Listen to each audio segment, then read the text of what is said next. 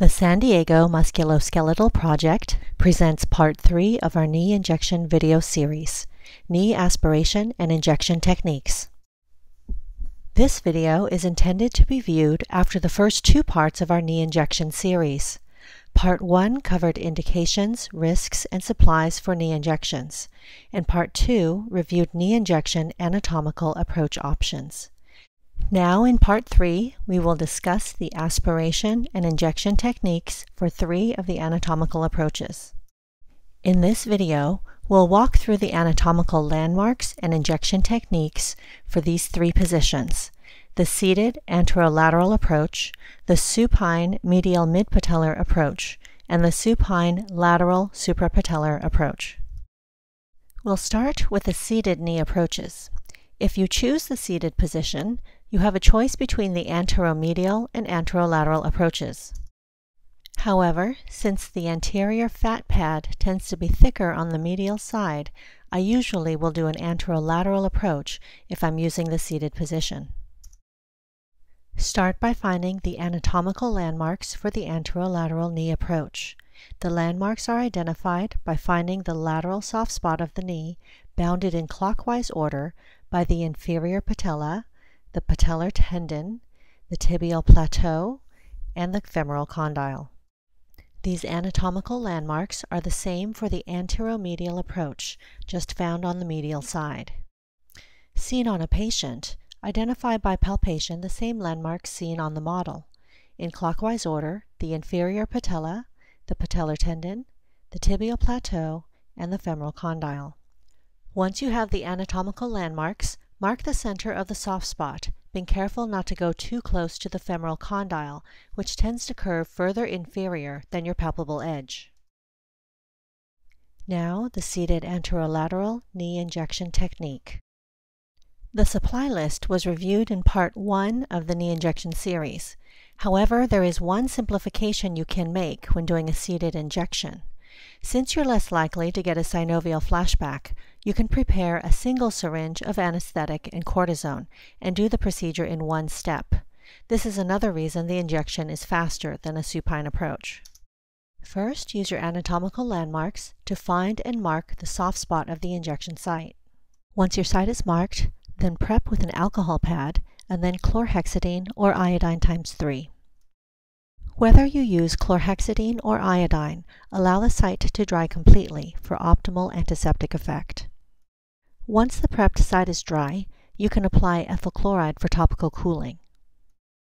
The needle is then inserted in a posterior direction parallel to the floor, aiming towards the intercondylar notch. As mentioned in part 2, because of the anterior fat pad, expect to use the full needle length to maximize your odds of reaching the knee joint. Once the needle is in place, aspirate and then inject the cortisone solution. Remember that synovial flashback is less likely in this position, unless the effusion is fairly large. You should feel minimal resistance, and the solution should flow very easily. If you do have resistance, consider repositioning your needle before proceeding. Once the injection is done, withdraw the needle, cap your needle and dispose of your sharps, and apply gauze and a band-aid. For the supine approach, as mentioned in part 2 of our video series, you have many options. You can choose the mid-patellar approach, either medial or lateral, or the suprapatellar approach, either medial or lateral, and any of these approaches can be done in full extension or in slight flexion. Let's start with the medial mid-patellar approach. The main landmark, of course, is the patella, and you can usually feel a small gap between the medial patella and the underlying femoral condyle. Seen from the side, you can appreciate the small gap at the mid-patellar point, which lets you access the joint space. The first step is to palpate and find that small gap between the patella and femur. Once you find a good position, mark it with a pen. As with all our injections, cleanse with alcohol, then chlorhexidine or iodine times 3. Allow the site to dry fully.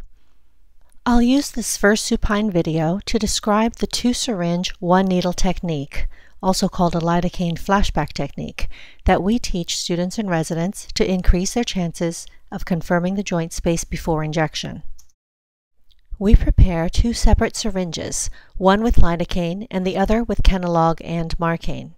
Details and volumes are given in part 1 of our knee injection video series.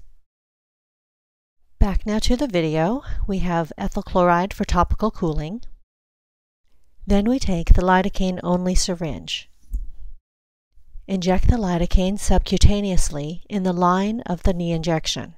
You already should have marked the small gap between the patella and the femur, and now you'll aim the needle towards the intercondylar notch. You may feel a small amount of resistance at the capsule and then feel the needle pop through into the joint. Once you think you are in the joint, inject 1 cc of the lidocaine and immediately aspirate to see if flashback is obtained. As you can see here, no flashback is visible, since this is a relatively dry knee. However, if you feel you are in the joint, try applying suprapatellar pressure, then do the lidocaine injection and aspiration again. By compressing the suprapatellar bursa, the lidocaine doesn't have as large a space to spread to, and the flashback with aspiration is easier to see.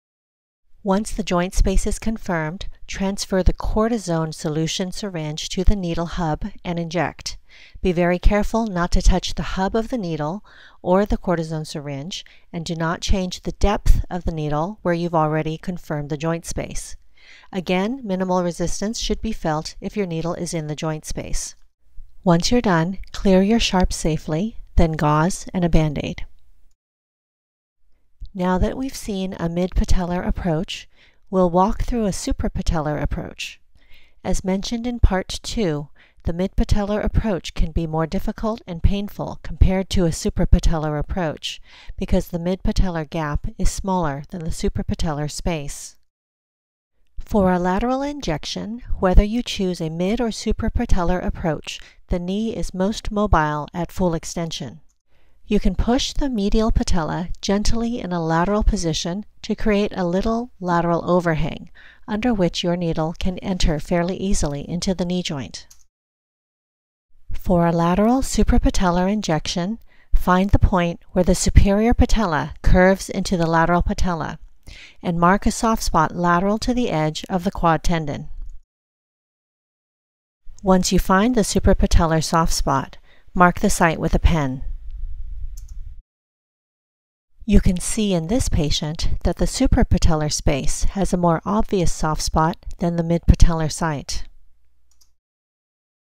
Once you've marked your spot, the technique is the same as a medial midpatellar injection. Again, we prep with alcohol and then chlorhexidine, or iodine times 3. Allow the site to dry fully. Then ethyl chloride for topical cooling. Start with a syringe with 5 cc's of lidocaine 1% alone. To decrease the pain of the injection, inject 1 cc of the lidocaine subcutaneously. For the suprapatellar approach, you are aiming under the quad tendon, and you may need to adjust the angle of your needle to get deep enough. Once you reach the joint space, you should see your synovial flashback. If it's a dry knee, try injecting lidocaine first and then aspirating. Aspirate and fill as many syringes as possible. The size of your aspiration syringes is a personal preference. When we use a 21 or 22 gauge needle, we usually use a 6 or 12 cc syringe to aspirate. Using larger 20 cc syringes is difficult through the small bore needle. If you plan to drain a large effusion, you might want to use an 18 gauge needle, which will allow you to aspirate the effusion more efficiently with larger syringes. Once the aspiration flow begins to slow down, suprapatellar pressure can help drain the effusion more completely. After finishing the aspiration, switch to your injection solution, whether cortisone or hyaluronic acid, and inject into the knee joint. Finally, withdraw and dispose of your sharp, then gauze and a band-aid.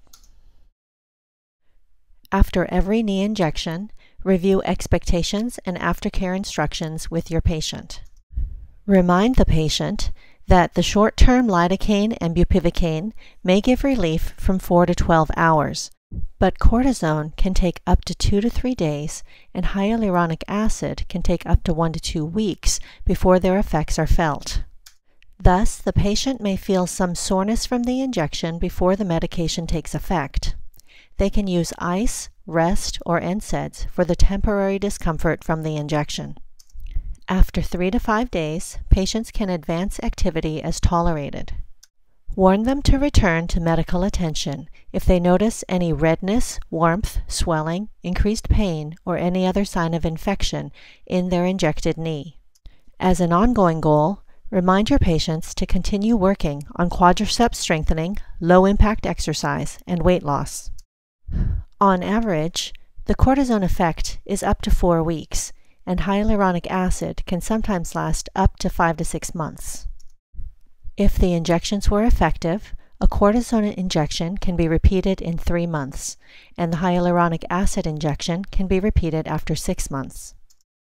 The next set of slides are included as a reference for you with a summary of the supplies and procedure steps needed for the seated knee injections and the supine knee injections.